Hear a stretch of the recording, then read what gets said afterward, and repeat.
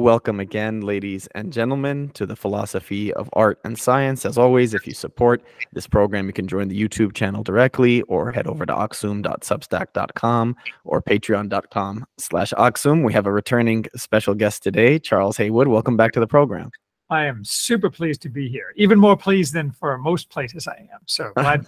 well, I'm I'm glad to hear that because you've been on uh, I think a real roll lately, especially since the last time I was looking it up. We I think last spoke on video May 2021, and since then you've been on a roll through different um, podcasts circuits. I I think I I wrote down a couple just so I I'm sure I missed several, but the ones that stuck out to me were like the new founding roundtable on Caesarism with um, Michael Anton, Matthew Peterson, Martyr Made or Daryl Cooper, and David uh, Rabeau, Aaron mm-hmm. McIntyre, who's now with the Blaze people, so kind of in that similar uh, yep. orbit. And I've kind of talked to some of them before as well.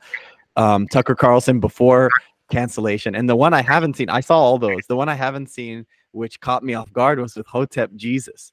Yeah, Hotep that was fun. I, I really, I really enjoyed that. You know, it's uh, sometimes I get a little bit tired of talking about the, the, same old topics. You know, not that it's bad necessarily, but yeah. you know, same questions. But you know, Hotep Jesus was was uh, off the beaten track, and th- those are the fun ones. Right? Yeah, no, th- that's actually my favorite thing to do is to bring somebody who's like known for one thing and then to totally throw people off. I had uh, Canadian uh, journalist Jeff Pearce, who who has had quite a, a, really good and one of the only independent journalists I would say who's had a really good track record on Ethiopia the past two to three years.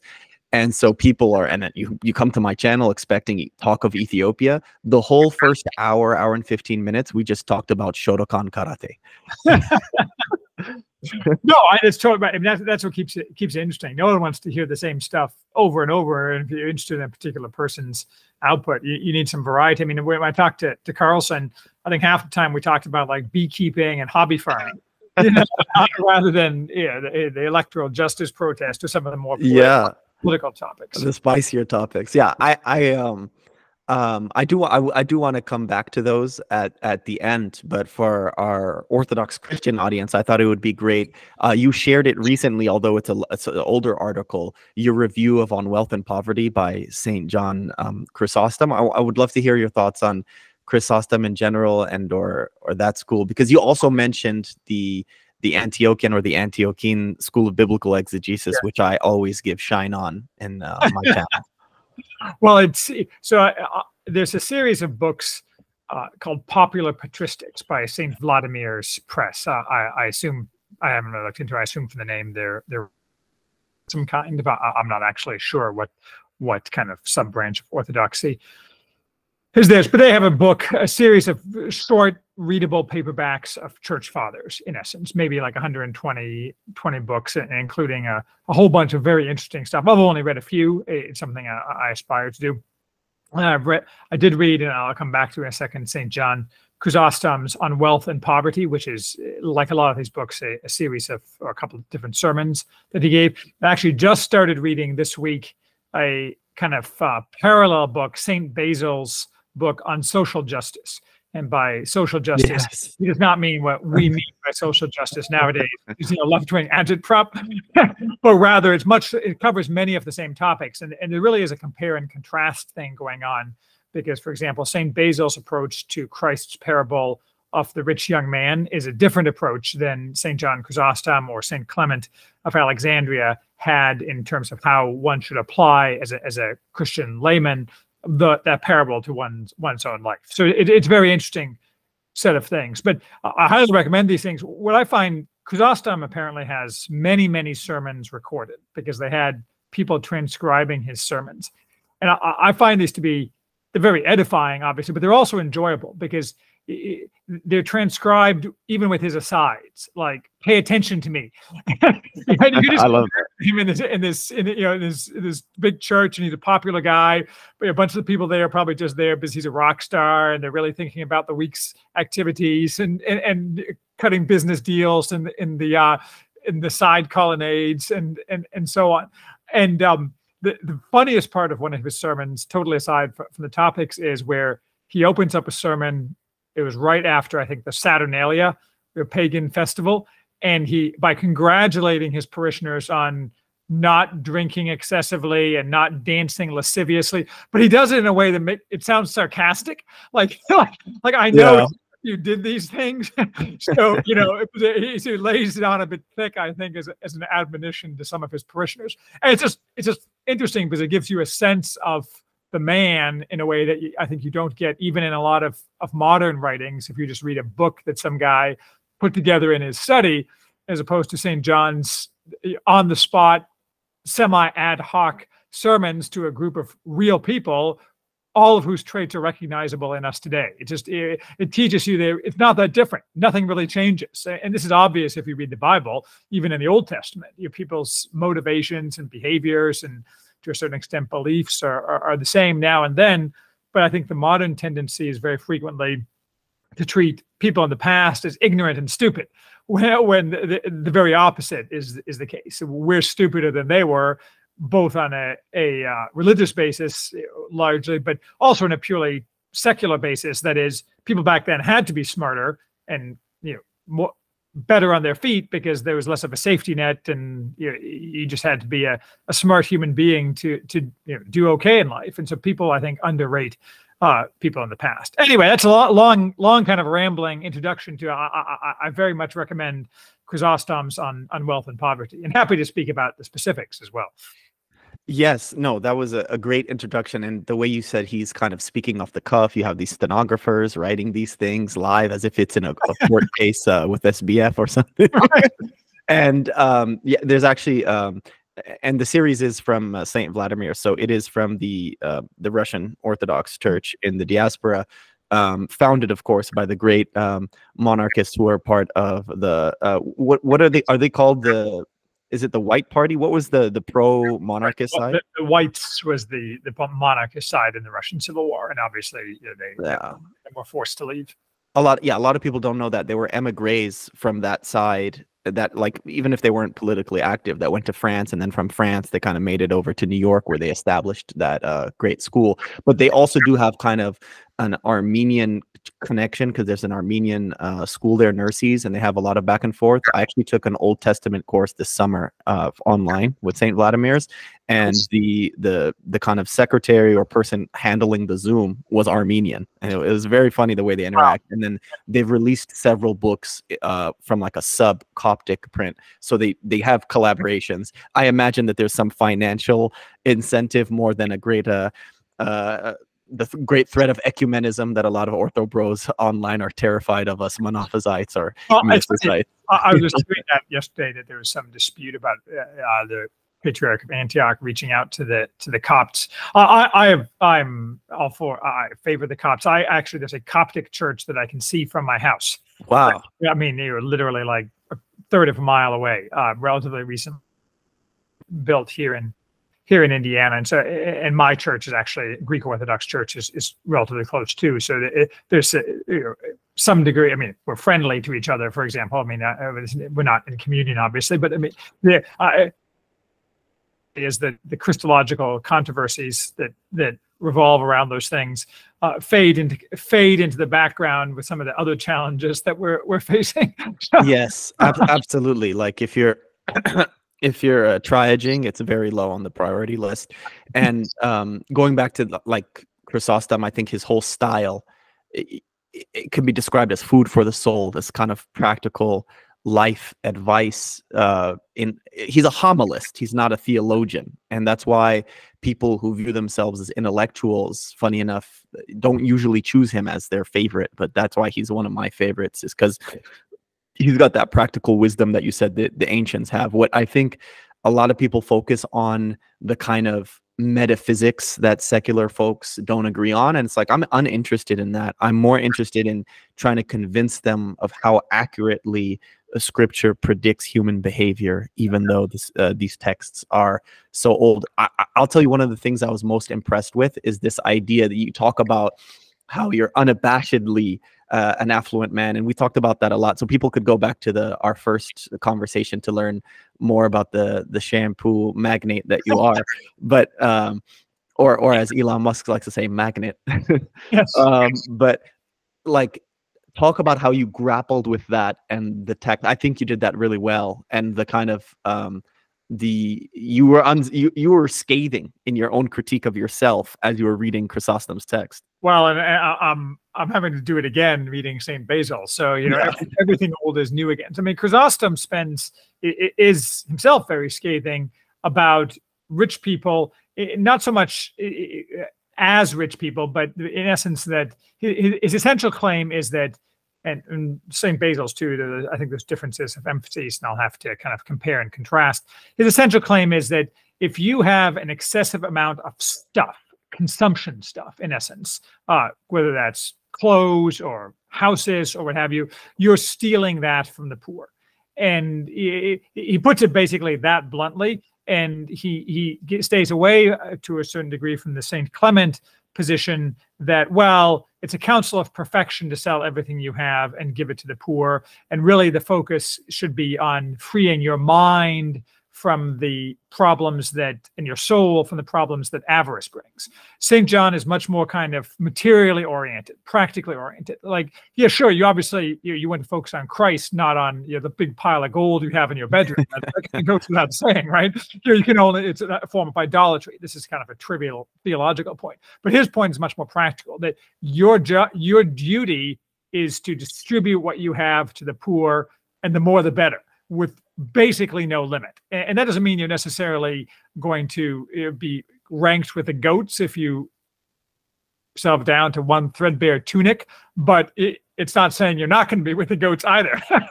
he's not. He doesn't pull any punches, right? so, uh, so uh, for a, per, a, person who has money, and certainly I have money, but let's be honest, he, there is obviously poverty in the United States, but by yeah. historical standards, the majority of people in America are rich uh, in terms of the, the, the, the things they have, the, the, the uh, safety nets they have, as well as governmental safety nets and so on. So this applies to everybody. Not, the, the natural tendency is for people to say, everybody likes to define, and I think studies have proven this, that rich is someone who makes a little bit more than me. But yeah. St. John would disagree with that. He'd say, like, if you have a nice house and you can take nice vacations, you're rich uh, even if it's you know, one vacation a year and that you need to heed my words. And then he'd yell at you and say, pay attention to me. so, so I think it's very, it, it, it's a, it's a very practically based, but very hard set of, set of admonishments. Absolutely. I, I remember the time when Sanders was more in the news, and we'll talk about this rift later uh, on the left because it's uh, funny and interesting, and it can relate to what's on the right. But I remember when he was in the news more frequently, people were providing this critique of him, saying, "Look, the people in America are in the one percent of the world. So if you take your arguments to their logical conclusion." Uh, you're going to be depleting a lot of the wealth of the United States for 99% of the world. And and you know he's not going to do that. And that was where some of the kind of funny overlap existed between the kind of Buchananite and uh, Trump wing of the right, and then the the Bernie Bros, uh, as they were called yeah. on the left. Is they kind of agreed in a in a he didn't use the the term America first, but he he kind of believed in it. Yeah, I, I, I think that's true, and I think there's a whole bunch of interesting threads. Mean, we could probably spend hours just talking about about some of these topics, but the there's a whole bunch of interesting threads. For example, you know, the Saint Basil talks about how people in his Christian society. I mean, he lived in the Christian society. He goes on a fairly lengthy rant about how people, meaning the people he's talking to, some of them face the choice of which child shall I sell into slavery so that I can, the rest of them can eat. You know, these things that are inconceivable yeah. to us. You know, eh, you think of slavery and those kind of things as a pagan thing, but that's not what was going on, right? I mean, is, eh, and so we don't have that. And so we say, well, you know, it, it, it's not as bad. The poor have the poor have iPhones. So really, why do they need my help? Why can't I have my two iPhones? the poor people. So uh, we, we, for example, our church have started a new food pantry because there's a lot, even though we're in a relatively wealthy area, it, you know, there's a surprising amount of people who simply don't have any food. But a lot of them come in with iPhones or cars. And Chrysostom talks about this too, that you, your, your job isn't to spend your time – except in extreme cases, obviously, where someone comes in, you know, asking for money for drugs or something, that you're not to say, you know I I I rate this person as worthy and that person as not worthy. Your job is to give freely rather than to spend all your time putting conditions on things. And I think when you put it through a political frame, it tends to that that kind of admonishment tends to get lost. Absolutely. I have uh, a really good friend and then my own mother who have kind of shamed me in this view not not with their words but with their with their actions. My, I have a good friend who he takes some of the the words uh, very literally so he'll try to like not let his one hand see what the other hand does as he gives to the port like very literally tries to do that and he he'll just give whatever is in his wallet whatever is there at the time and then he'll turn around again to taking it very literally and apologize to me for having given to the poor in front of my eyes as opposed to having done it in secret when where only the heavenly father could see. My mom uh, more directly on this point that you say and she's not a church goer and has never been a church goer in her life but is always identified as an orthodox christian. She's cradle like me obviously. Um, i remember one time there was a swindler and i knew this person was swindling and they were asking for $20 for like some fake project and my mom didn't vet them at all gave them the money and when they left i was like a teenager or something i kind of confronted her about it i was like you know that person was a swindler and mm-hmm. she's like i do actually know that she like she wasn't convinced by them at all but she said if they're asking for $20 they need it more than me and i was like wow like yeah that, would get behind that i think Mean, yeah, and, and and that last point you were mentioning, the political point, is the last thing I want to uh, mention about this is that, um, and and you kind of brought it up by speaking of your church, your local parish as an institution that that gives back. Is there's this um, this delusion, especially with some of that strong language about like theft, you know, that you see particularly communists who are also Christian. It's very difficult. I don't know how they square that circle, but there are some people who try to square the circle of communism with Christianity, although they may call it different things. You know, we know what it is, and um, that line is like a famous line of Kropotkin, the famous like Russian communist. Uh, that property itself, like private ownership, the means of uh, private production itself, is is mm-hmm. theft in a way, and and that's not what Chrysostom is, is saying, right? Could you talk about this uh, difference between the duty of the state versus the duty of the individual and the church? It, it's interesting because nowhere in Chrysostom, or my bet is not being an exponent, but I think this is probably a safe bet. Nowhere in any of the church fathers is there the slightest hint uh, that there's a governmental obligation to help the poor. He, he's talking strictly to to individuals, and so he's not saying that ta- your taxes need to be used in order to help the poor. He's saying you need to personally help the poor. And I think that the uh, the uh, I think I, I, quoted in my Chrysostom review, the late Joseph Sobran had a joke where he said that uh, that some people conflate the commandment "love your neighbor as yourself" and the commandment give everything you have to the poor into a new commandment give everything your neighbor has to the poor. And so, sure i mean this is a very kind of personal uh, obligation. Um, and so I've, I've, I've, lost the thread of the question. I apologize. The thread of the question is is the government obligated to give to the poor or you and your community? Right. I mean i think i think that the in the modern world i think that there is a there's an argument to be made that the government probably should be giving some uh, money to the poor. But the problem is that the that erodes the erodes two things. It obviously erodes the people's individual feeling of obligation. They're like, well, the government will take care of it, and I pay my taxes, and I pay too many taxes, so really, you know, the poor are getting too much, so I have no personal obligation. But the bigger problem and the more hidden problem, which people have been pointing out for nigh on 100 years, but is when the government starts doing these things, it destroys the intermediary institutions that are designed to provide for the less fortunate members of society. So not only takes over the personal obligation, but it eliminates the intermediary institutions, whether that's the role of churches or the Salvation Army. I mean, these things still exist, but they're not as crucial as they used to be. And it's also true the government is unable to make the fine distinctions that are important as well as the admonishments that are also important. So, for example, if you're in a community and you're giving to people, you want to give freely. You want to give the $20 because those people need it more.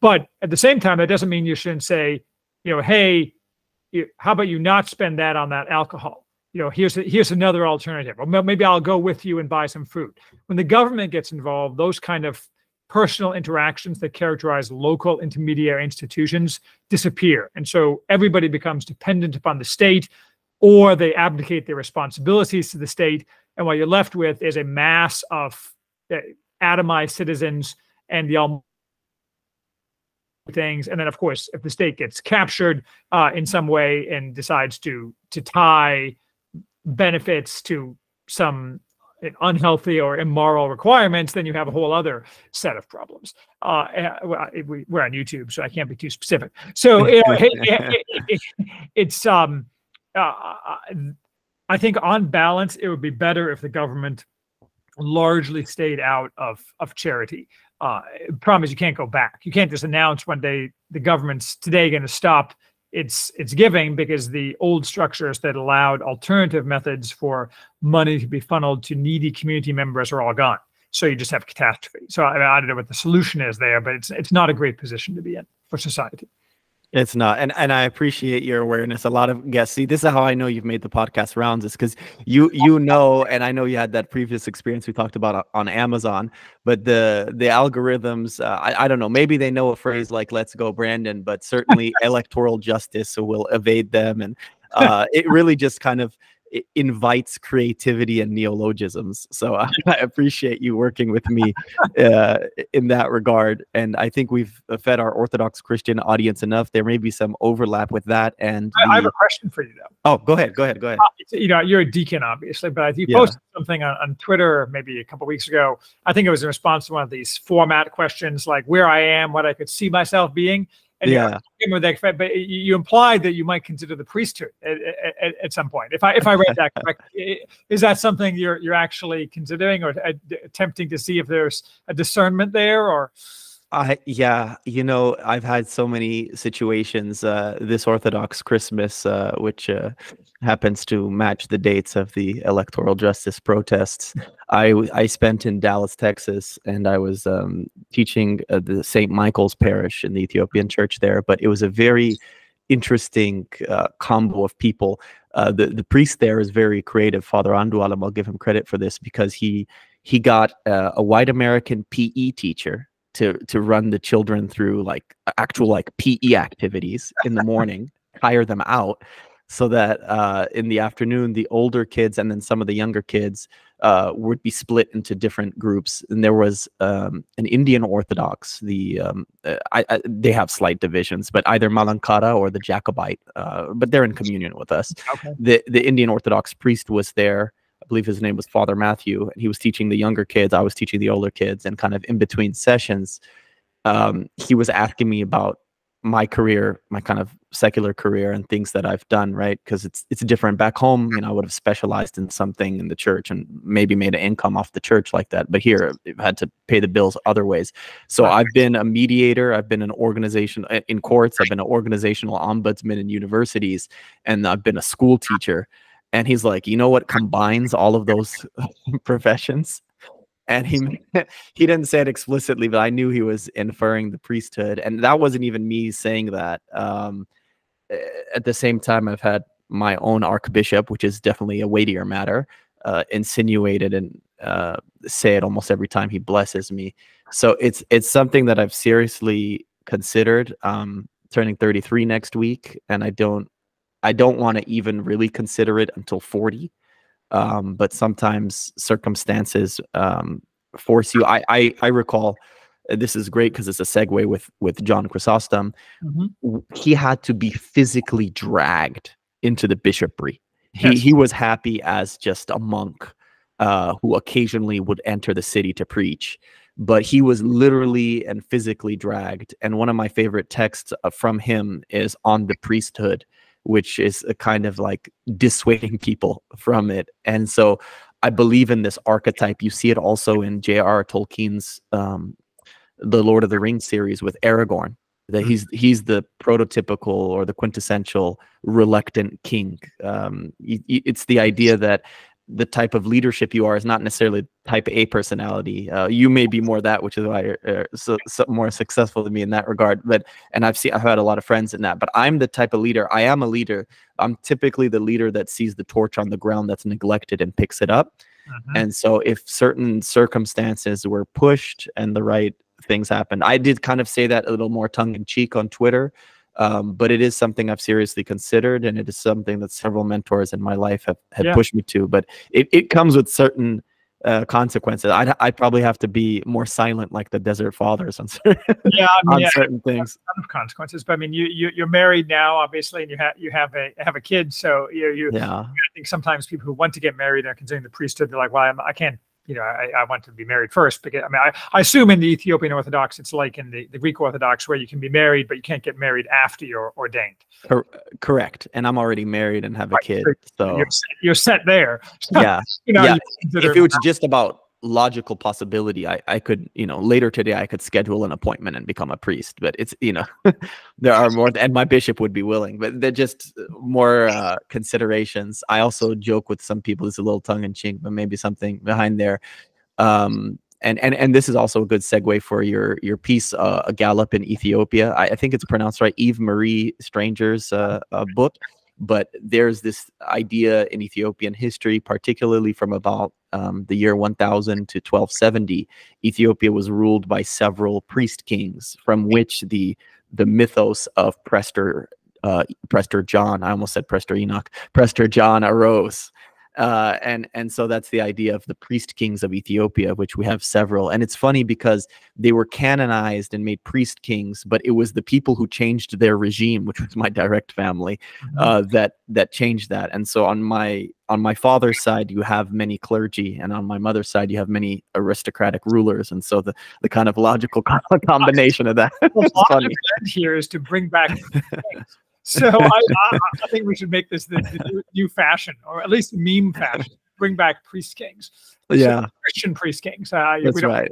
Like, There's an know. interesting Serbian tradition I had seen by visiting a couple uh, Russian monasteries of certain princes who, after uh, relinquishing uh, before death, relinquishing their power, they would go to the monasteries after. That's also a very uh, common tradition. I have a great grandmother who did that, and I know many other people who have like grandparents who either they're uh, you know they're widowed or for uh, for some other reason they at the end of their life they do it. My last ancestor on the throne emperor Susenyos in the 1600s he he did this. He converted to catholicism and there was a battle that ensued where thousands of people died and so they say he repented relinquished power to his son and then uh, spent the rest of his days in a monastery which is a very honorable way uh, to do probably a sound choice on his part. yeah. so some some people doubt the veracity of whether he repented. Maybe they said he kind of stayed Catholic, but then didn't promulgate it anymore. But um, it but, did go to monastery, which is you know, yeah. a good place to to spend out your days. Yes, and instead of leading to you know the death of thousands of of your own people, I know you had assessed that book, and it was the second one after the Throne of Adulis uh, in this kind of category. I'm wondering if you remember anything from from that great article. Uh, Stranger's book. Yes, uh, I love Stranger's book. It was interesting because you know I, I don't. It, it's funny. Uh, I read the book because Stranger, uh, who's French, was um, he followed my my blog for years. Like he commented occasionally and so on. And then he wrote this book. I'm like, that book sounds awesome. So I so I, I read the book, and the, the book is a is a kind of a slim volume, kind of semi autobiographical. It's not doesn't purport to be like a, a voluminous history of Ethiopia. It's kind of snapshots of, of modern, mostly Ethiopian life. And I think he married an Ethiopian woman, but he doesn't give a lot of he doesn't give a lot of details. He does he talks about his mother-in-law more than he talks about his his wife. And I think that they all moved ultimately back to. But again, I'm I'm not totally sure about that. It's a it's a bit uh, opaque. But the book. To someone who doesn't know anything about Ethiopia, uh, I know, as I, I, think I said in this review, I know a bit more than the average American about Ethiopia, which just means I know more than zero. I mean, the, the average American uh, has no idea about anything about Ethiopia. Uh, you know, confuses it with Kenya. you know, doesn't have any idea of Ethiopian history, much less modern Ethiopian history, much less you know, 3,000 years ago or 2,000 years ago or 1,000 years ago. So it's, it's interesting because he gives a real sense to the reader of uh, basic facts about Ethiopian history, what the society is like now, and how it's changed even over the time that he's been there. Eh, because I mean, people don't understand that Ethiopia is you know, a big country with a big population that has a lot of potential, which tends to get wasted because of internal divisions. I mean, that's how I kind of summarize it for for an American audience. And I, I say in my my discussion of the book that occasionally, you know, I, in the back of my head, I wonder if Ethiopia will rise again as a world power. And you, you can imagine that happening, but I, I conclude again from my kind of American perspective that it's not likely because the Ethiopians spend too time spend too much time sniping at each other with internal divisions which are opaque to an American. Right? They're very important to an Ethiopian, but they're completely opaque uh, to an American, which is too bad because Ethiopia, as one of the largest Christian countries, and probably as a like if you if you did like a weighted average of religious belief uh, times the you know, this, this devoutness of religious belief times average times the number of population, I'm sure that the kind of Christian weight of Ethiopia vastly outweighs that of Europe, for example, in terms of like the number of people who are actually fervent believers in, in Jesus Christ. The, the Ethiopia probably has a lot of heft to it. It just, you know, needs to get on the horn and do something in the world stage. Yeah, I, I remember I was researching for a piece I was writing once. I forget the exact number now, but they had even more monks than in Russia. It was something crazy, like twenty to forty thousand monks active, or yeah. Something ridiculous like that. And something like ninety-eight percent of the population of affirms either Christianity or Islam. It's interesting that actually in the seventies, there's this whole um, region called the o- the Ogaden, which borders Djibouti and Somalia.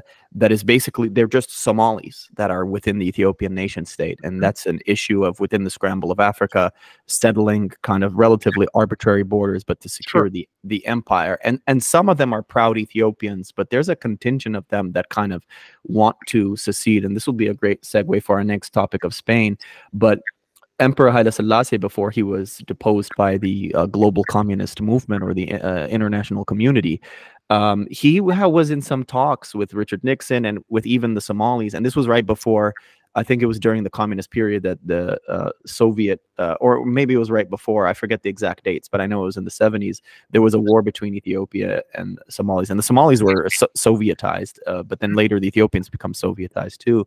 Um, he almost offered them the Ogaden back. And if you did that, interestingly, like right now, people argue about if the numbers of Islam is something between 33 to 40%. Some even crazy think it's 50. It's it's nowhere near that. If you got rid of that that Ogaden region, which is 100% Islam, the, the natural Ethiopian highlands, even if there are a couple of different ethnicities there that are uh, at war with each other from time to time, they're all Orthodox Christian and uh, the majority of the country is overwhelmingly and and the numbers would shift to something like 80 to 90 percent at yeah. that point that, that sounds like a sound strategic move i mean countries don't like to give up their territory but i mean it, it's the i mean it, what is the population of Ethiopia now? 110, 110 million. Yeah, 110 yeah. million. Yeah, I mean, and and the, and that region is maybe six to, six to 10 million at most. Yeah, so I mean, eh, again, I'm I'm not an Ethiopian geostrategic player, but it, it, certainly certainly sounds like it would it would make a lot of sense. I mean, the the Ethiopian, do you know what the projections are on the Ethiopian population? Uh, I don't know exactly, but I've seen something maybe 200 million by 2050 or something. It, it's grown a lot. When yeah. um when my parents just to use the capital city Addis Ababa as an example, when my parents lived there from the 50s to the 70s the population was something like 300 to 400,000 and now it's um, 3 million. Yeah. I mean, and Stranger talks about that in his book. I think he ran some kind of uh, business renting out horses for tours in the highlands and how basically the, all the areas that they used to wander around on horses are now buildings that you know the city has just expanded so so much that it's uh, it's taken over a lot of land that was used to be far away from the city, which is the the way these things work. I mean, uh, absolutely, and and I can't blame you for your pessimistic take, as you said. It just you know lack of knowledge. It's not ill will or anything like that. And there are even like Reuters and press, let alone you know CNN and other organizations that you'd kind of expect a little more from. They're extremely biased and had ties to this originally Marxist organization, but you you, you know the switch where it goes from um, uh, class communism to race communism, Mhm. and and then they, they define it very narrowly what even race is because really it's one race in in Ethiopia, but it's like you know the the it's a linguistic race the category that they create, and so it's like a a pseudo linguistic racial category and communism based off of that that kind of uh, took over for the past 30 years. And then 20 years for the 20 years before that it was communism. And so you had 50 years of the beloved international community interfering with the historic rulers of Ethiopia. So while it looks like there's a sort of parity between them in my opinion and you know I'm biased you can say but the historical rulers and the strongest real military force are the Amhara tribe and the Amhara uh, tribe have these militiamen called Fano and they have this uh, tripartite like title that they call themselves in Amharic. They say Arash Adash Takwash, which means they're self-subsistence farmers, and it's because they would look down on kind of other trades. They'd rather, uh, uh, you know, be able to support themselves than have any sort of middleman or boss. And then um, they they go to church. Adash means they they attend mass or they, they are themselves clergy and lead the mass. And then the final thing is that when the time is right, they're shooters. They're people who who are always armed, to whether the the law is supported or not. And right now, just for the record, say that again. It's very based. Yeah.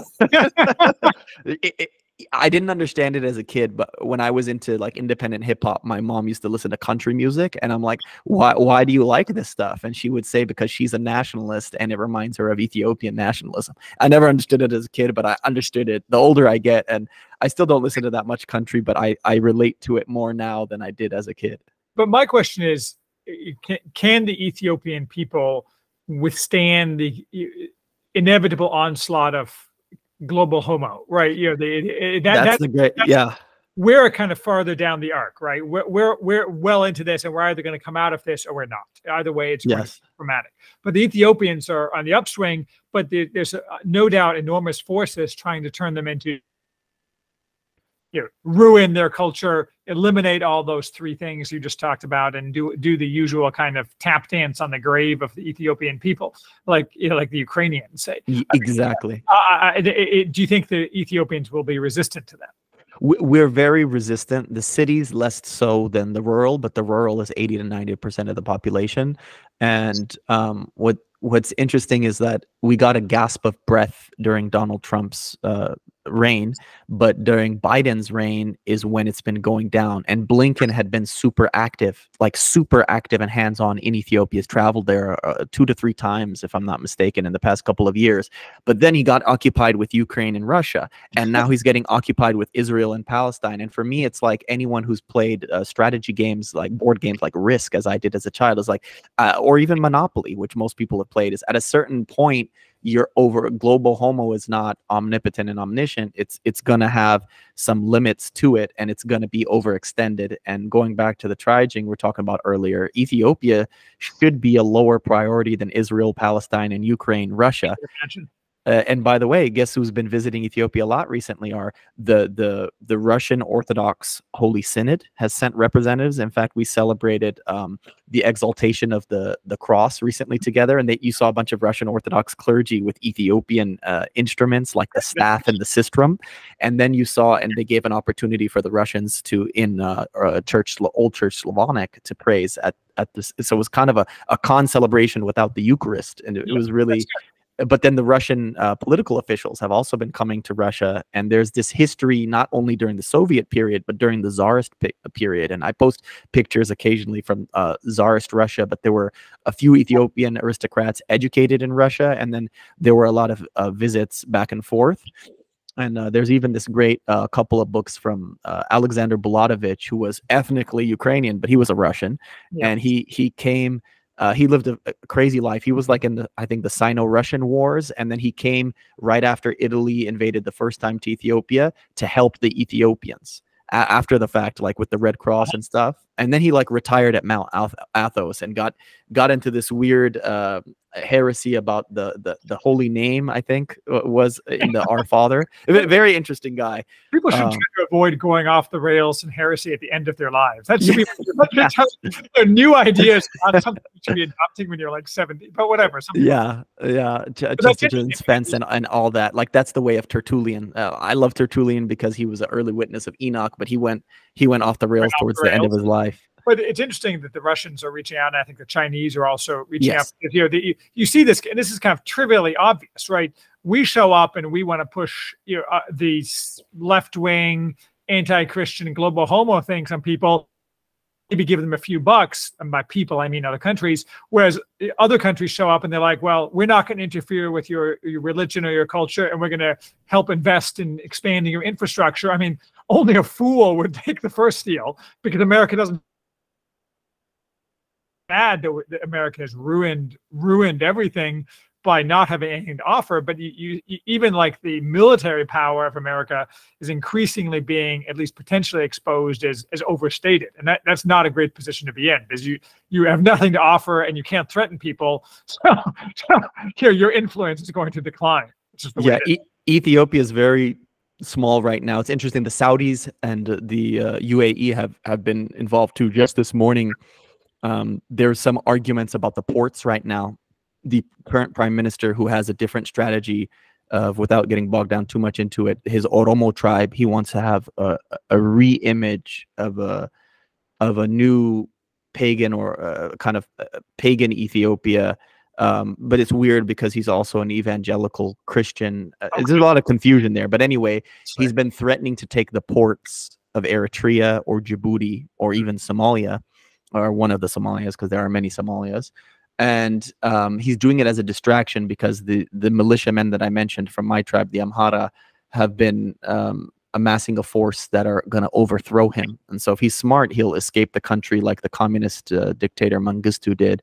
But yes. uh, in the meantime, in Saudi Arabia and Jeddah this morning, the Eritrean president Isaias Afwerki and the Ethiopian prime minister they got gold medals and and signed a peace deal because there was a lot of militaristic language. And I think he was just doing it to distract from the militiamen that are on their way to the capital city uh, fairly soon. But I think if if you tell me long picture global to for global relevance for people less interested in the Horn of Africa I think it might be one of the breaking points of uh, of the um, that that helps the multipolar world emerge. Yeah. So it might just be one of the the larger cracks or that one of the straws on the camel's back. The strategic location, the you know the people, the resources. Well, not I mean not so much the resources. Ethiopia doesn't have any oil. Last I checked, uh, but uh, but you know it, it really is. I mean, totally aside from the specifics of it, it really, this is not this is different than the future I was promised, but I guess that's it always is. I mean, you know, yeah, it, it's uh, mostly like red. It's like strategic. the strategic thing is like just closer launch points to Russia and China and the Middle East. And then the economic point, the main piece is actually the the commerce, the ship commerce that still mm-hmm. happens in the Red Sea. It's it's quite a narrow passage, and uh, that that's a very important. And and Eritrea is already not a friend of the international community. Were Ethiopia to flip there, uh, they would be in trouble commerce wise in that in that area. Yeah. Um, but but all of this is that you know global homos desire in Ethiopia is balkanization, and we see now it's crazy. I've been studying the regions of Spain. They're trying to balkanize Spain. Spain's on the map again, and you have this great article which I think people should go read on the great Generalissimo Francisco Franco, who was a friend of Emperor Haile Selassie. I've shared some pictures with you. And then even there was another aristocrat who was a cousin of uh, Haile Selassie, and I had uh, uh, their daughter and their granddaughter on my program to talk about how awesome. communism impacted them. It's yeah. I mean, I'm a big Franco fan. I have a piece which gets a lot of traction on the internet, which very long piece or fairly long piece that, that, summarizes all the things that you didn't know, not you personally, but people don't know about Franco because people, yeah, yeah. Even I was like, I was talking to my priest the other day, and you know, he referred to Franco as like a fascist, and I'm like, yeah. yeah now father let, let me let me share a few things with you i was you know adequately respectful obviously but i'm like that's that, that's somewhat somewhat underinformed and so i think that it's interesting because people always say, well, Franco, you know, whether he was good or bad, whatever he tried to do did not last. and uh, and same thing. He he died roughly at the same time that Haile Selassie was was overthrown. But it, what people don't seem to appreciate is that that was in many ways the high water mark of global homo in terms of its ability to influence international affairs. And uh, it seems like the high watermark is now, but I think that back then it, it, we didn't recognize what was happening. There's, I, I actually didn't know this, but apparently uh, the guy who was pegged to succeed Franco was killed in a car bombing a couple years before Franco's death in Madrid, and the CIA is suspected in of, of involvement in the car bombing. I actually ha had not heard that. I, I, I heard that recently because it was a comparison to the guy who was just offed from the the the right party right now in Spain. Yeah, so that's why I saw I saw it as well. So it's the you know, the my thesis, and this kind of relates a little bit to what we're talking about Ethiopia, is that the yes, it's true that everything Franco did disappeared uh, shortly after his death, but that was a different time. I mean, that was what 50, 50 years ago, roughly. Right. And so you know, the worm is turning, or at least the worm is potentially turning. So you can imagine if a new Franco came to power in a place that needed the kind of reforms that Franco brought, that that person could change the mind of the people and not have the outside influence regime change. And this fundamentally becomes a question of is the current system, by system, I mean the regime or the Western way of global homo, is that a doomed system? And if so, what will replace it? I think in the arc of the cycle of regimes, we're at a different place now. So I think with the right changes, if they can be accomplished by the right people, they're likely to be a lot more lasting. I mean, there's counter arguments to that. For example, you have to have some children in order for that to be possible. And none of the Europeans are having any children, and so inherently you don't have a future if you don't have any children. So that that's one one of many possible counter arguments. Nonetheless, I think looking at the life of Franco is very instructive. And one shouldn't just say, well, you know, he worked hard, he did these good things, but it, it all ended when he died. One should rather see, well, what can we learn from that to, to apply to the future? Yeah, I, I, I think you, you mentioned it briefly, but I would love if you expand on this idea of fascism because it's used so loosely and intentionally so to give justification to be able to punch people at protests, right? but um, I think these things have technical meanings, and even some of the professors really mess this up because of their of their biases. Anyone right of center is a fascist. But could you talk about, for example, the 20th century regimes just in, in four places, right? In Spain, Portugal, Italy, and Germany, and talk about what I see, uh, if you see it as well, that there's a clear distinction between Spain and Portugal versus Italy and Germany there. Yes, I, mean, I, I did a discussion of Tom Gallagher's recent biography on on Salazar, you know, so-called dictator of Portugal, who's also a very successful authoritarian ruler, but like Franco, was it, it, not in the least fascist. And I'll come back to to what that is. But and obviously, when you're shading into Italy and then Nazi Germany, you you see you get into the kind of authoritarian right-wing regime that can more justifiably be called uh, called fascism.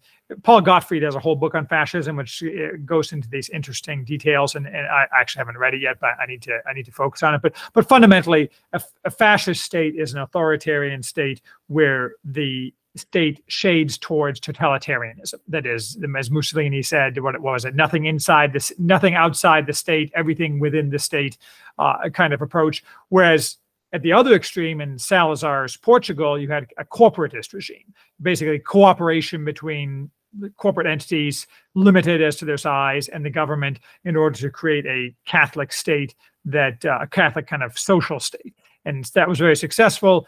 In Franco's case, you had something that was a bit more aggressive. Probably, uh, I mean, Salazar did not have to fight anybody to come to power. He basically was an economist who came to power because people couldn't decide on anybody else, and they had some civil unrest. and they're like, "How about this guy?" And so he and he just stuck around. But Franco, of course, had to fight an actual war against the communists who were funded by the Russians and by the Americans, and he ran a very successful war. But he he he wasn't Franco wasn't fascist in the least in that in that understanding of fascism. He was a Catholic authoritarian who was very interested in ensuring that communism did not get a foothold in his country so that millions of people would be killed as a result, as they had been recently killed in, in, in Russia. I mean, this is a trivial and obvious thing that uh, that he, any sensible person would say that is a sound goal, and Franco executed that goal uh, very well. Um, some people got killed as a result. Uh, many of them deserved to be killed. No doubt some people didn't deserve to be killed, but a tiny fraction of the amount of people uh, that the, the communists would have killed had, had they managed to defeat Franco in the Spanish Civil War. So I think Franco, and then Franco proceeded to, to preside over a uh, industrial expansion of Spain very successfully. Spain, I think, was the fastest growing economy in Europe for for many years running in the 1950s, and uh, eh, which may ultimately have contributed to its uh, later destruction. They you know, uh, wealth does uh, undermine a people's virtue, but that, that's a different topic for a different day, perhaps. But it, Fra- Franco is a fascinating character in his own own right. He took over, for example, he, he, he took over the Spanish fascist party by uh, as it happened, the leader of the Spanish Fascist Party, Jose Primo de Rivera, had been executed by the communists. So he, the, the, party was essentially leaderless, and so he announced that he was now having a party of national unity, which included the fascist party. And party of national unity means everyone shut up and do what I say. And you know, I'll, I'll, I'll say a few things that are nice about the fascists. I'll say a few things that are nice about the Carlists, there's the monarchists. But I'm in charge, and we're going to run this country in a in a coherent way that prevents it from being taken over by communism.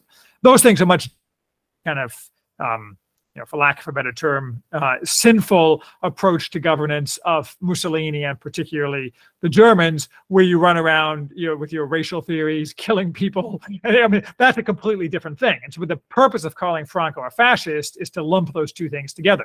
But the fact is that the fact is that Franco was awesome and Hitler was terrible. I mean, those two things are distinct. Amen. Right. I mean, no. So, it, but you're not allowed to say that. People are like, well, you, when you say Franco is awesome, the response is, you love Hitler.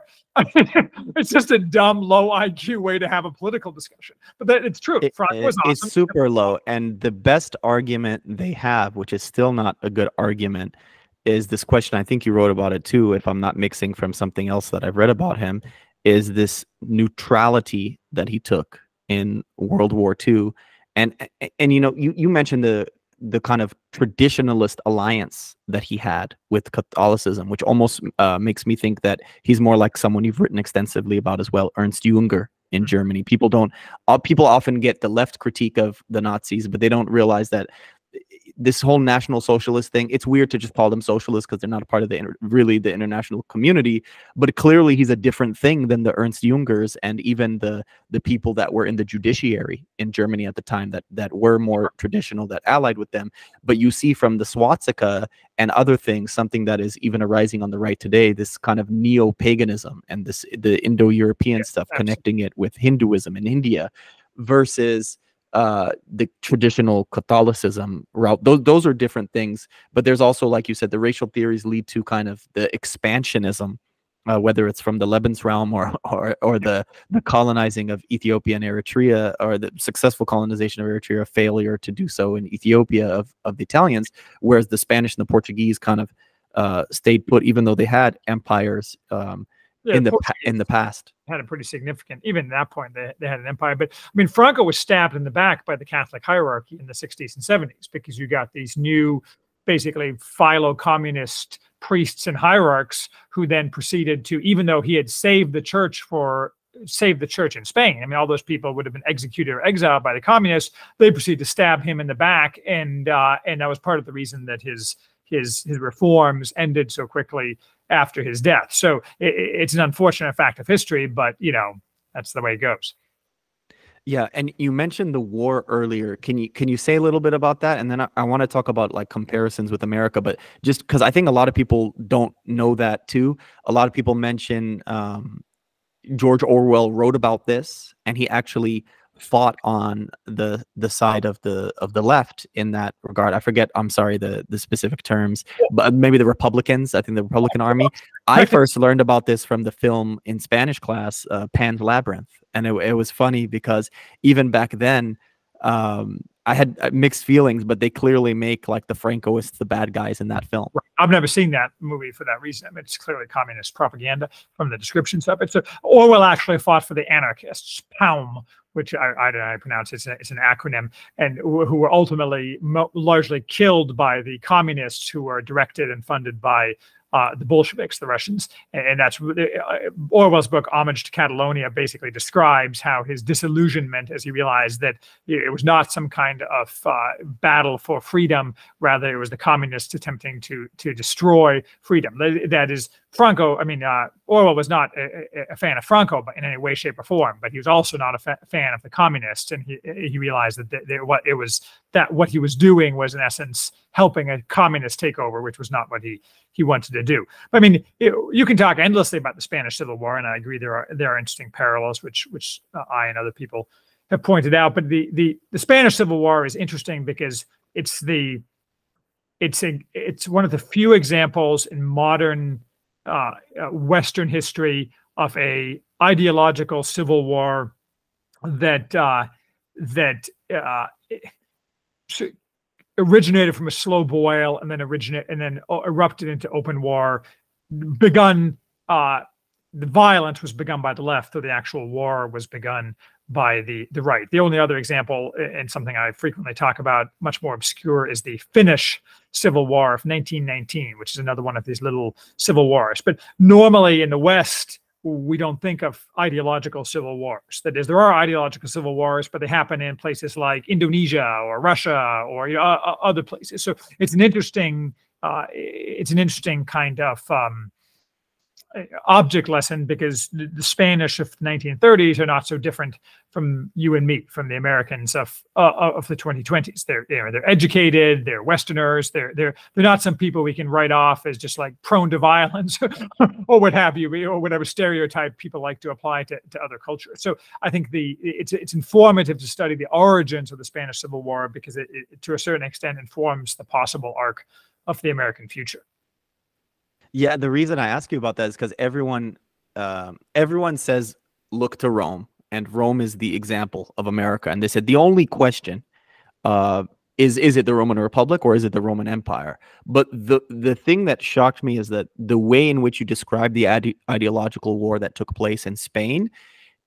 To me, if something in history is an example, that it, that has got to be the closest thing to what America is on the brink of. God forbid. Yeah, I, think that's true, and I think you see a lot of the exact same things. You see, for example, left to use violence uh, every time they don't get their way, and you see the the uh, position of the left in Spain as today that if the right wins any elections, those elections are inherently illegitimate. That is, any any power gained by the right is inherently illegitimate, uh, and and ultimately if any power gained by the right that actually threatens to reverse or roll back any left gains is more than adequate reason to start a war.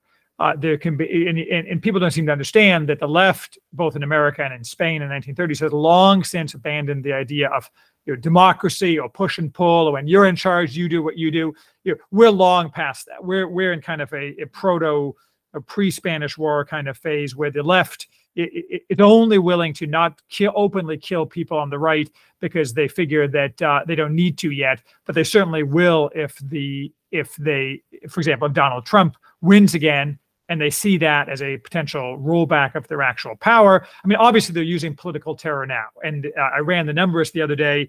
Extrapolating a little bit, we have more political prisoners in America now than East Germany did in 1989. Uh, they had about wow. 2,000 uh, roughly 2,000 political prisoners, including actual spies, though, uh, like spies for the West German governor, government were counted as political prisoners.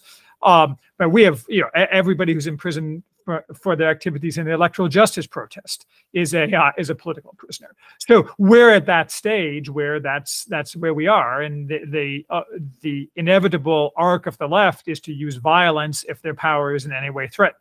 And the, ultimately, the question is, what would the response of the right be to that? And usually, the answer is is not good. Yeah, but Franco was willing. He had the military acumen to gather and to unite these different forces, which um, it's it's reminding me too because uh, there's I think a, a confusion even on the right and sometimes in the left about what you see in the tech sphere, and in the tech sphere, there's this idea that's almost worshipped of decentralization. And mm-hmm. I wonder if you could speak about that because that's part of what uh, some of the the secessionists or the Balkanizers in Spain are wanting to do in Spain. And um, even some agents like Michael Malice in the United States have, have argued that there should be a divorce between red and blue states, and and that that would uh, lead to justice and harmony in in America. But Franco seems to be a very centralizing uh, force. It's not like he even proposed a, a compromise of splitting the country then. No, and in fact, Franco uh, Franco was accused, and it, it's hard to say because Franco didn't write anything down, and he didn't say much. He, he said, uh, a, "A man is a slave to his words, but a master of his silence."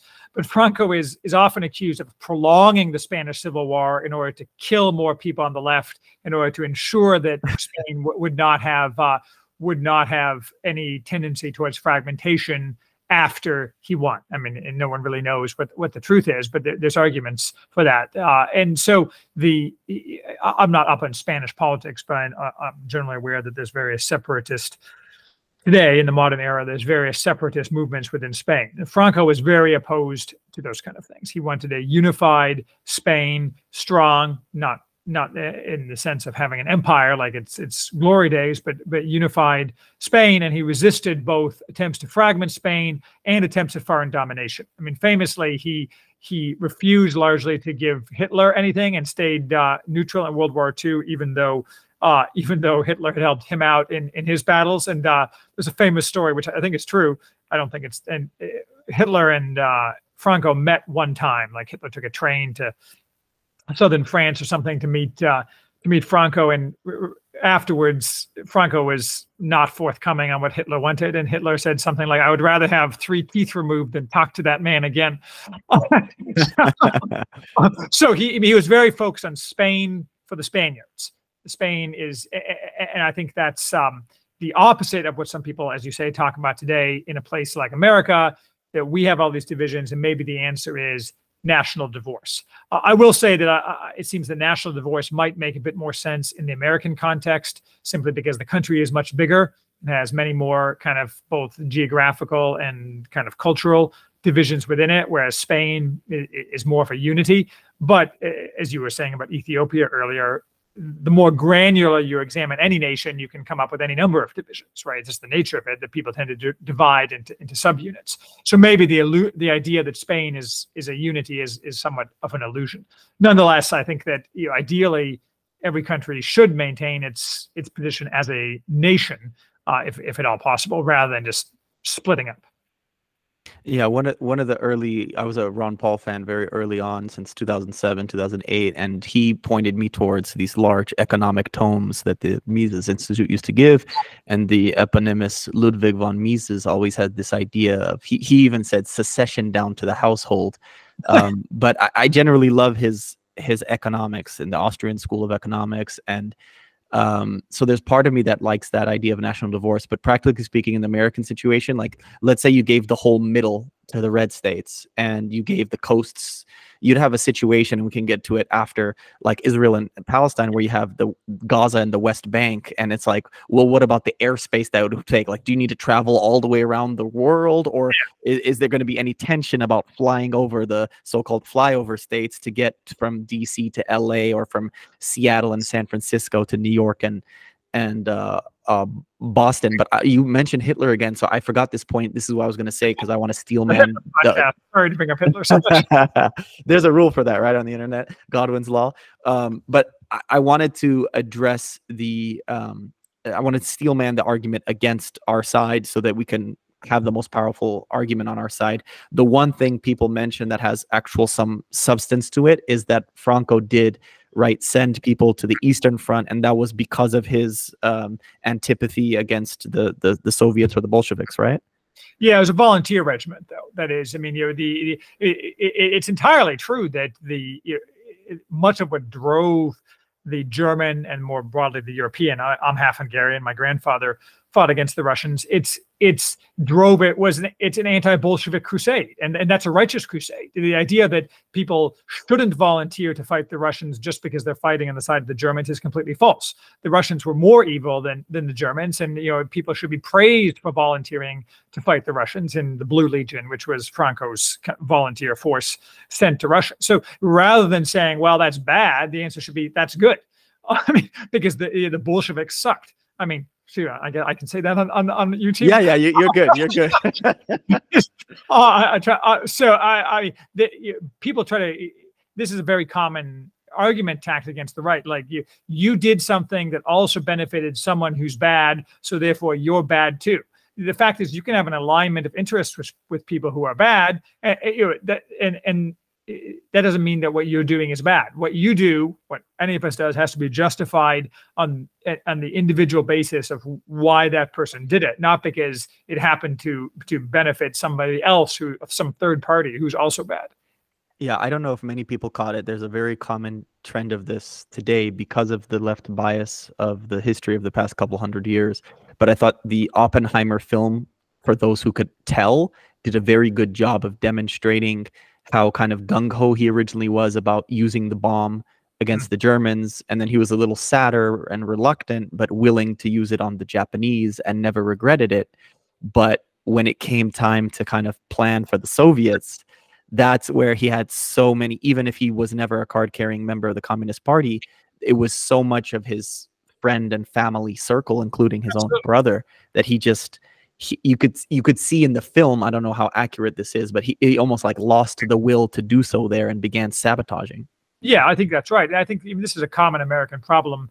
This kind of bizarre and false idea that well, the communists weren't really so bad. Real communism hasn't been tried. I mean, you know, th- these things are all just false. I mean, you know, Stalin was worse than Hitler. That's the way it is. But they're both very bad people. So God, I'm not sure there's any any distinction, and, and the subtle distinctions are probably pointless. But in terms of like whether or not it's okay to fight against the Bolsheviks, it, the answer is clearly yes. Yeah. So so early. Yeah. And and just a final point on this, and then I, I do want to go to the Middle East, and we can we can wrap up after that. Uh, but the um uh the policy in general is interesting because, for example, in World War II, a lot of Black Americans wanted to sign up and go fight on mm-hmm. behalf of Ethiopia, and several made it, oh. but the U.S. government was prohibiting some of them from going. As a state policy in general, would you take it case by case, or would you let citizens kind of volunteer to, That's to fight and struggle? I mean, you you see this you see this a lot that now some people to go fight for other countries and then forbids it and basically treats people who do it as as terrorists. I think that um, you know I, I like off the cuff, I don't really know the the answer to that. I mean, it relates to the question of, for example, dual dual citizenship, and again, this yes. in the Middle East, like whether you know, should the United States government allow people with dual citizenship to go fight, or for that matter, be drafted by the other country? Like, I generally disapprove of dual citizenship as a as a, I think you, know, you should be a citizen of, of one country only. Um, though in fairness, I'm also a citizen of Hungary. Uh, so, uh, but so I, I, mean, I don't practice what I what I preach, but the um, uh, I, I, guess I'm kind of struggling because I don't really know the answer to that. That is, I think that um, you, you don't want to discourage it, but in practice, you don't want to discourage it because you, there's good reasons why people may want to do that, even if they're not dual citizens. They have connections. They they feel strongly about it maybe they're mercenaries and they want the money. But in practice, what you see historically, the Americans allow people to go fight for commies and punish people for doing anything else. Just like they allow people to okay. riot George Floyd, but if you walk around the Capitol, then you go to jail. So in practice, because of the deficiencies of the regime, it's used in a way that I don't like. So therefore, it shouldn't be used that way. So on a purely practical basis, I think it should be allowed, but only for causes that I agree with. I and that's fair. That's fair to say a case by like treat it case by case, and whoever is in charge is gonna because that's what it kind of is doing already. If I'm not mistaken, I think I saw that in the case of Ukraine, and for sure, for sure, I've seen it in the in uh, the issue I want to discuss with you, the Israel Palestine, and yeah. and it was interesting because some of the early numbers of American killed um, I think were not as forthcoming with how many of those Americans were actually IDF soldiers. Sure. And I think that would be a very interesting thing to find out of the statistics right. And, and, that's very misleading because you know, for these their, their, Americanness has nothing whatsoever to do with the fact that they're dead. I mean, it, just it, and so to say they're American, somehow Americans are being killed. I mean, while technically true, it, it is extremely misleading. And I think that you've seen that people are kind of discounting it for that reason. I mean, people discount everything because they know it's propaganda. And I mean, we can talk about whatever you want about about the Middle East, but it's you know, it, one of the things we see is just the every time you think the volume of propaganda and lies can't be ratcheted up anymore, you, you realize you were wrong, and in fact, there can be more propaganda and lies. So I mean, that, and that's a big problem. Yeah, I think you had a, a great post that uh, gave me a chuckle. Um, I had proposed other things, but you had proposed kind of like a, a Byzantine Levant. I had I had joked like, what do you want the the Turks to come back? Because you see Erdogan actually actively talking about punishing Israel for what they're doing to Palestine? Or do you want the British to take over again or their successors, us? Do you want America to take over the Levant directly, even though America doesn't do that really anywhere? And the closest examples, Afghanistan and Iraq, which are ho- horrible examples. The best examples are the older ones like Philippines and Samoa and uh, Guantanamo Bay and things like that. But different America. Yeah, I, I, wonder what you what you thought about the rift. Even even in that panel that you did with the new founding, I know at least one of those members, Dave, seems to be, um, um, you know, obviously like more allegiance to Israel and and fighting different people on the right about it. And then I seen the bigger rift, I think, on the left. Um, and just I think the fights on the right are more about like active support versus nonchalance. Yeah. Um, and then on the left, it's like a it's a huge huge divide, which is which has fascinated me and and maybe is uh, red pilling some of uh, the Jewish supporters of the state of Israel yeah. Eh, that were previously on the left and maybe are moving more to the center or maybe even right of center. Well, I've uh, you know, I've been using the mute button with wild abandon on Twitter.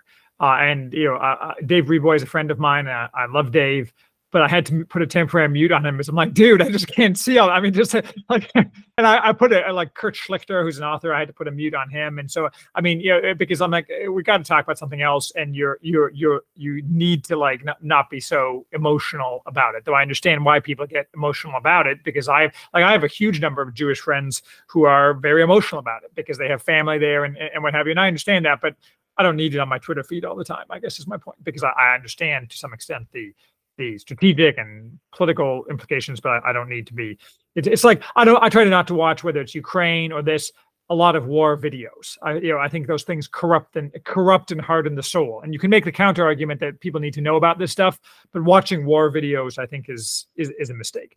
In any case, uh, I'm, I'm getting off topic. The um, uh, the splits on the right, uh, I think, are interesting. Uh, the I think there's only one position that Americans should have on the war, which is what's good for the American people.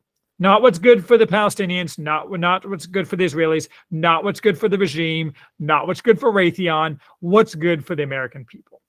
And so, and for and uh, as a subset of that, what's good for Christians. So, what's good for Christians is not to have the Muslims control the Holy Land because in practice, uh, modern Islam is an exclusionist, Wahhabist type of type of faith, and so that that would be very bad for for Christians. I mean, yes, there's some tension between the Jews and Christians and so on, but it's it's not the Jews aren't running around killing Christians, and the Muslims are running around killing Christians all over the world. So that's just a fact of life. And it is true that I think the the new emperor of Byzantium should in fact command control the entire but the uh, last I checked, that wasn't real likely. So I, I think in general, Christians Americans should favor continued uh, Jewish or is Israeli control of Israel, but that doesn't mean that we should fight a war over it. I don't think any American should die for that, nor do I think we should spend an enormous amount of money for that. If the Israelis can't take care of it themselves, then you know that's unfortunate. But you know uh, we're not we're not in the business of starting a, a, yet another war with the entire Muslim world over that. I think uh, the splits on the left that you mentioned are particularly interesting. Um, and you particularly see this with Jewish people in America. That is, it appears that Jewish people who are the uh, the left dominate in a whole variety, variety of areas. Now they're seeing that those people are not repaying the favor. But I don't know if that's going to have any lasting effect or not. I think probably a lot depends on what the ultimate resolution of this this war is, and about that I have no opinion. That I just I don't understand what's going on. I don't understand what the future holds. Everybody is lying. Everything is propaganda. It's very depressing to me. Everything about this whole war, like the Ukraine Russo-Ukraine war, is depressing enough. I mean, but this war is a whole other level of depressing. Uh, it, I, I, it's very disheartening to me, for lack of a, of a better term. Yeah, and and I, I think the best interest for America is kind of, and I'm very biased to the non-interventionist, the old right school. Um, uh, Buffett's father, the famous Buffett's uh, father, he was one of the old right. Um, I think President Taft has a cousin or something. He was a member of the old right. I'd written about it before. Obviously, George Washington's foreign policy, and then the Federalist, although Washington didn't have a party of his own, the Federalists after him, and you know, again, I, I get a lot of it from from Ron Paul, but and just let what happens there happen there. And you know, the big fear from people is the influence of Russia and China increasing. And I'm like, look, man, we're in the we're in America, which is a part of the Americas. They're in Eurasia, which is a part of Eurasia. And mm-hmm. it's just like these are different different sectors of the yeah. But it, it's the British historian Tom Holland, I think on his The Rest is History, and, and I think I may have heard Dan Carlin also give these these cases when you're talking about Byzantium of the British being surprised in World War II, thinking about all the classics that they have read, and they're like, are these the same Greeks from the classics I've read? Not seeing any time, uh, not seeing that that moxie from them that that they had expected from reading the classics, even supporting them uh, against the Axis powers at that time, but um, yeah it's um the control of jerusalem is always um an interesting question but the rift in the left i think the most fascinating aspect of it was um it's brought up by michael millerman and he he's obviously he's very uh, pro-israel um but i i think he approaches it from a philosophical perspective which i appreciate and he raised this question which actually he wrote a paper on years ago almost a decade ago about in in grad school which is um can can Israel be both Judaic and uh, in scare quotes democratic. And then he also raised some questions about, you know, the occupied territories and what Palestine is like, you know. And so one of the, you know, in my jest, I said, you know, you could solve this by uh, getting the settlements out of the West Bank, letting the West Bank either be its own entity or smarter a part of Jordan mm-hmm. and then subsuming Gaza uh, within a Jewish monarchy. And I think like their number one, if they're prioritizing, we're talking about prioritization. Uh, you have to pick Judaism over democracy because if you if you choose democracy, that is clear. You'll lose the demography. Uh, uh, that solution probably makes sense. I mean, I got in trouble on Twitter, not from the Twitter, but from other people for pointing out that no one remembers that Western Poland used to be called Germany. You know, you know I mean, and, and, for that matter, you know, Eastern Poland used to, or Eastern Western Ukraine used to be called Poland, mm-hmm. and so and may well be again if, if the That's Poles right.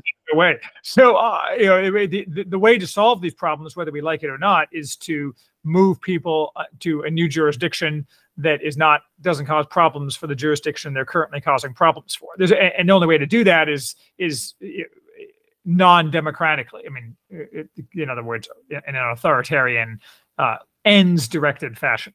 Yeah, I think that the tension on the left, and I've seen this because I have several progressive friends, but who are also Jewish, is that they have all these values in the American context, but yeah. those values get thrown out the window in favor of a theocratic ethno state right. that has the illusion of democracy. and it's like, wait, these are okay you get uh-huh. these weird bedfellows too. You know, you, you, see all these people running around like you know LGBTQ people for Hamas. I'm like, Hamas. Yeah. Oh, Hamas. that was hilarious. I'm like, oh, okay. Did you see the, there was a video? I don't know. You might have not gotten it from your mute filter, but there was a, a video of an actual confrontation between a couple of Muslim women and what sounded like a man. I don't know, trans or whatever, but what sounded like a man arguing for the uh, alphabet soup perspective to two Muslim women, and they said, "No, no, but in our faith, this is not allowed." And I said, "This, there it is. What, what, what is there's a great communist phrase about is it the tensions or the contradictions finally emerging and and heighten the contradictions. Heighten the contradictions. Yeah, the, the, the the contradictions were getting heightened in that situation. I mean, a large part of it just ignorance. I mean, you you've probably seen these videos where like young people in particular, you ask them like just basic historical questions, very basic about any anything related to the conflict, and they have no idea. Like none. They just have no idea who's who, what's what, nothing. Even stuff that's completely not disputed, not like a political football, just like the basic history. They just have no idea. Yes, uh, people like uh, the Jewish Lebanese uh, podcaster Gad Saad, and then the uh, Greek Orthodox one Nassim Taleb, also Lebanese, have mm-hmm. been pushing that what has happened in the past 10 15 years is a demographic change in both Europe and in America where you see these large protests but other people talk also about where is the source of the information that the the zoomers and younger I don't know what the one younger than zoomer is are getting it. And if it's primarily from TikTok they say Israel's actually losing the information wars. And so I wonder what you think about uh, about what that kind of bodes for them. I still think they would win. I still think they would win if if push came to shove as they did before but but it, it, it is fascinating that Israelis reputationally have suffered from this because if you're Mossad, your entire stock and trade is getting Arab dudes, girlfriends who are not their wives, and and using that to blackmail them to find out things that you need to know. I mean, that and, and variations on that. I mean, human intelligence using the, the techniques that I you know comfortable with. But and then they completely missed this this whole Hamas thing. So the, yeah, that's kind of a strike against their competency. And there's, there's a lot of criticism of their military work so far. I mean, I mean we'll see. And the information war is even worse. That is, and I think that's not really so much the Israelis' fault. I think as a result of the other things the regime, our regime, has been doing over the past several years, people have realized that they're being lied to. So they then turn to other sources, which are also manipulable. The Israelis have no way to manipulate TikTok, right? The Chinese manipulate TikTok. and, and, and, young people are, are, uninformed and stupid and have preference cascades. So it's not really surprising that, you know, Benjamin Netanyahu can't control TikTok. But it, it, it, it's disconcerting that the the that I don't. I'm not on TikTok. I barely. I barely understand TikTok. But it, it, me too. it's a very low information, emotive, stupid. You believe this because you your influencer, this influencer th- says so in this 10 second clip. It's no way to run a society, and that comes back to uh, you, really we're seeing kind of that not just Judaism and democracy don't mix together having a well-run society and having and maximizing democracy in the sense of allowing every 18 year old who's on TikTok to actually have a vote isn't a good way to run a society. That doesn't mean you should take away the vote from everybody, but I think maybe 25 would at 25 and proof of being off TikTok for two weeks before the election is probably uh, probably a good place. To yeah, I, I, my approach is everything is functional, so I believe even TikTok can be saved. If people saw my algorithm, I do have an account, but I don't you know know it and use it that much you you learn languages on there. You get all these like yeah. language learning obscure languages and uh, you get genetics information and then you get lee kuan yew clips. That's that's my algorithm. that's a good feat but i mean that's not what most people get most people get I, I, I, mean you're right. I mean i i, I i'm a big i'm a techno optimist and so on but the fact is we have to be the master of technology. yes. And it's the exact i mean we don't have to go all butlerian jihad kind of thing but you know you, you do have to master the technology but that requires not the government to take action maybe some action but it requires people to be virtuous and choose the languages and the lee kuan yew clips rather than whatever the hell.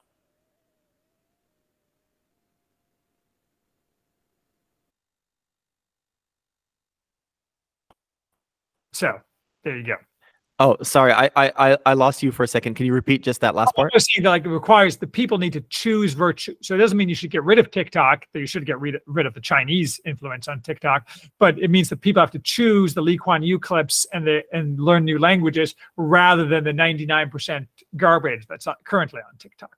Absolutely. Um, as we come to a close, and thank you so much again for your generous time, uh, Charles. I would love for you to give just to make it somewhat standalone, although I do expect them to go watch your episode with me and everywhere else you've been. Just punch his name into YouTube and Google and DuckDuckGo.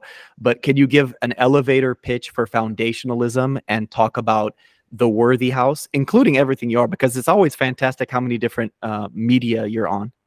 Well, uh, thank you. Uh, so theworthyhouse.com is my website where I, I do my writings and also have pointers to stuff that I do elsewhere. So uh, it started off as doing book reviews, and I still do a lot of book reviews, but they're really my own thoughts masquerading as book reviews. But I do talk about interesting books and what I think about them. So if you're into books, it's certainly a, certainly a place to go. And it's all free. I don't take subscriptions or anything. And the foundationalism is kind of a project that's developed out of that.